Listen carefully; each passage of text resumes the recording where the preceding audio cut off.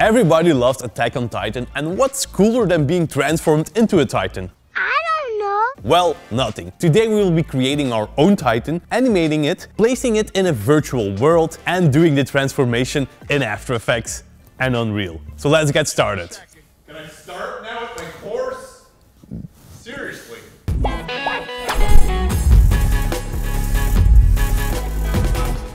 To be able to create our Titan we'll be using today, we're going to use Character Creator 3. This is a software which lets you create realistic looking characters and you can compare it a bit to MetaHumans. The only difference is that Character Creator has way more options to modify your human. And just like MetaHumans, it's extremely easy to use. You can just drag around all your sliders and create your pure Titan.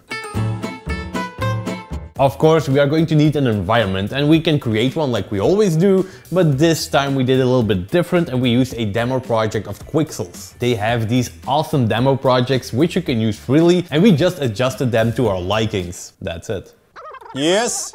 Yeah, totally. I know. Yeah. Oh, wait, I have to hang up. There's someone here. Yeah. Bye.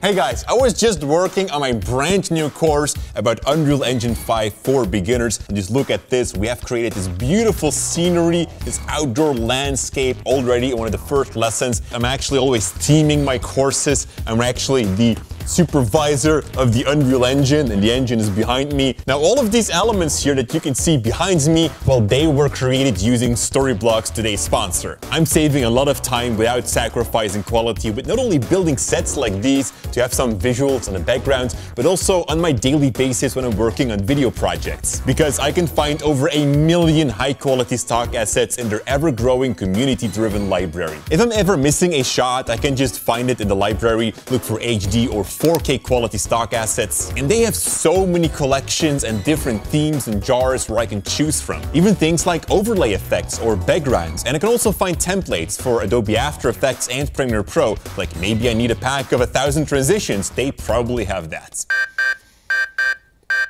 And the amazing thing about Storyblocks is that I can download unlimited video assets with the unlimited all access plan. Not only for video assets, but also for music, sound effects, images, and so much more. So I can try out different things, see how they work in my edit, and if they don't work, well, I can just go back to Storyblocks and download something new without having to worry about extra fees. That's of course the most interesting plan, but Storyblocks of course also has other affordable plans for everybody's needs. So go check it out, guys. I can highly recommend it. You can click the first link in the description down below or just go straight to storyblocks.com forward slash Cinecom. All right, and now I'm going back into my course. That's how I make courses. One interruption later. And now these two numbnuts are bothering me.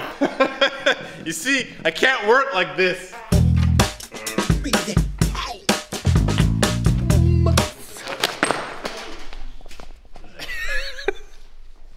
Allee man, pas op van mijn vloer hè.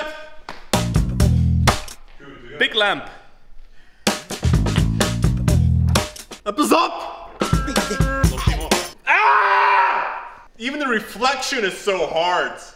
Now, since I'm going to be placed in a pretty dark scene, we're working with a two-zone lighting setup here for the green screen. One zone is to solely light out the green screen, and we're making sure that none of this light is being casted onto me, the talent, and so we can create a different lighting setup for the talent itself. Two zones.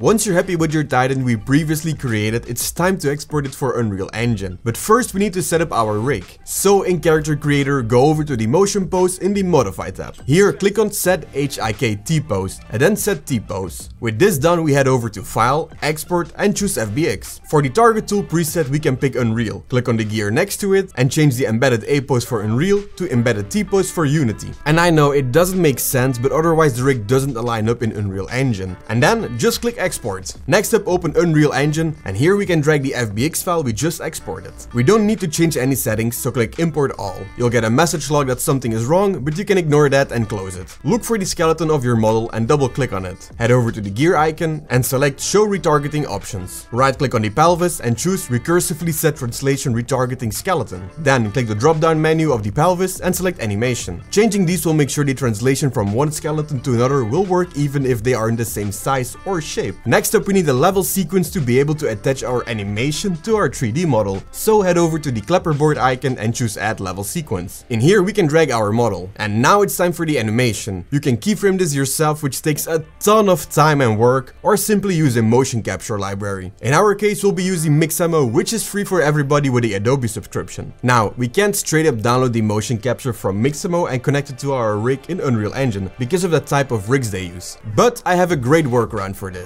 There is a Mixamo to Unreal converter which you can download, I'll leave a link to it in the description down below. Once downloaded you can open up the file and there should be a folder called mannequins. Right in there you should find a .fbx file, which is what we need. This rig we need to upload to Mixamo first. Once the rig is in there, look for the movement you want to add from the library. Then click download and make sure the keyframe reduction is set to uniform. With this ready, open up the Mixamo converter. In here, click step 1 and then the folder. In this folder, you'll want to add the downloaded Mixamo file. Then click step 2 and hit convert. Once done, you can click the folder again, which will take you to the output folder. And the file in there we can now drag into Unreal Engine. An import option menu will open up. Just make sure that in skeleton you have your skeleton selected of your character you want to animate. And then just press import all. Now head over to the sequencer tab and here we'll add the animation to our model by clicking the plus sign next to animation. Look for the animation you imported from the list and there we go, our titan is alive. The only thing now left to do is add your camera and choose your framing and once you're happy with that you can just render it out and bring it to After Effects. When becoming a titan, it releases energy and a lot of it. And that energy blast we are going to recreate inside After Effects. Now for this we of course are going to need three shots. An empty shot, a green screen shot of our talent which we keyed out, and a shot of our titan growing and standing up.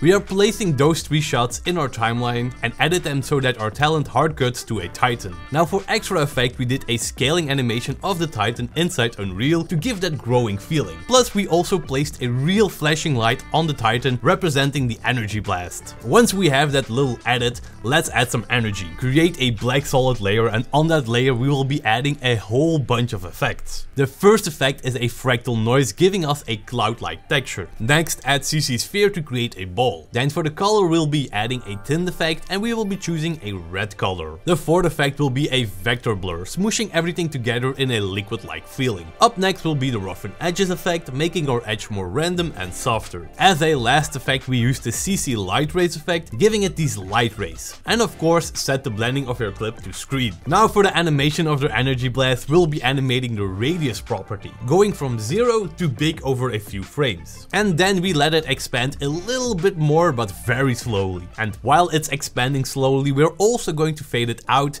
with the opacity property. Okay, we have our first energy ball. Now let's keep adding those. Duplicate the energy ball layer two times and each time change the color and the radius. Make one an orange color and a little bit bigger than the original one. Then the second duplicate, make it yellow and even bigger than the other duplicate. Next up is a super bright lens flare. We're going to use the Red Giant Knoll Light Factory effect, which holds a dozen of lens flare presets. Again, we animated to go from non-existing to super bright and then fading out. The last step is a matter of adding stock clips of electricity, dust blasts, ground impacts, and so on. Keep adding until you have a realistic Titan reveal. And to finish it all off, add some distortion, maybe a heatwave or a blast bubble. Let yourself go, and voila, you are done.